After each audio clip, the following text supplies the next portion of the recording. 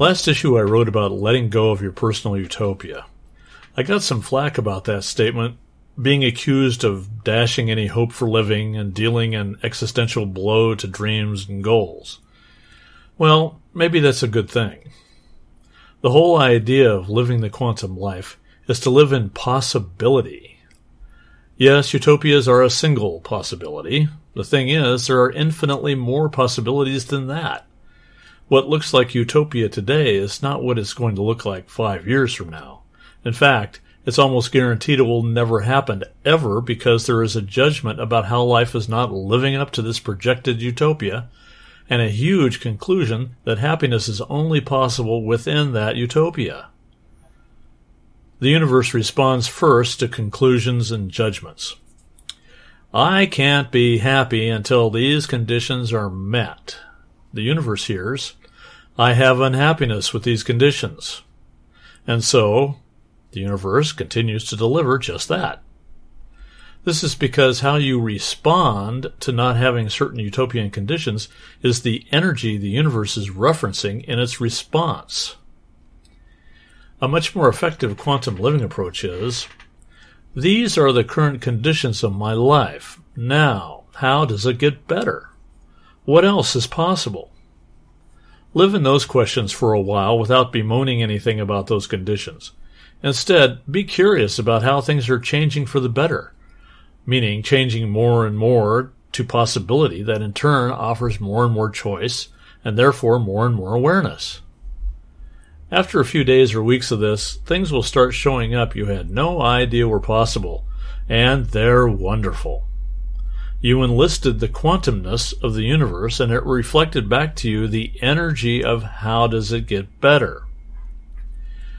A couple of years after the passing of my partner and founder of this company, Shay Arve, I started entertaining thoughts about being in a new long term relationship. Nowadays, it's logical to just jump on the various dating sites and see what pops up. One of my preferences is that the person be spiritually oriented and preferably well versed in metaphysical matters. This, of course, narrowed things down considerably, and I ended up on spiritualsingles.com after six quote quote dates, I started realizing I had concluded, as well as my dates, that the only real relationship was a long term one. Yet, how could I know what would be long term without being with someone long term? It started feeling like a disingenuous paradox somehow. All those people looking for a long term relationship without realizing how judgmental that is. What exactly is going to convince them that this or that person is long term material. This person is cool because they're a vegetarian, interested in astrology, blonde, attractive, has kids, but they're grown and out of the house. Uh, she has a dog, doesn't like cats. Perfect. Well, what happens when these things change? What happens when they decide to start eating meat again, decide they don't like astrology, lose their hair, gain 50 pounds, and decide to get a cat? The point is, we have no idea at all what a long term relationship looks like until we have a relationship that has gone long term. All three of the ones I've had, one for 17 years, ended disastrously. I had to admit, I had no clue. The quantum living approach? This is my relationship life. How does it get any better than that? As I embraced living in this question, new possibilities almost immediately came to me and some very intriguing ones I hadn't even considered.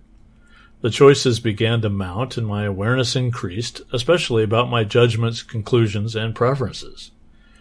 I realized I didn't really want to, quote, long term anything. I just wanted to share my life with someone who respects me and what I do and allows me complete freedom in the creation of my life. That's all. I'd be happy if that was for just 20 minutes or 20 years. I'd successfully de- deconstructed the long term relationship myth for myself. So, by remaining in the question when you want to change something, feeling that energy of how does it get better without judging or concluding anything, it just might bring you everything you've ever actually wanted and most likely beyond. You have been listening to This Quantum Life by Boyd Martin, brought to you by the Quantum Health newsletter from EnergyRx. www.pureenergyrx.com.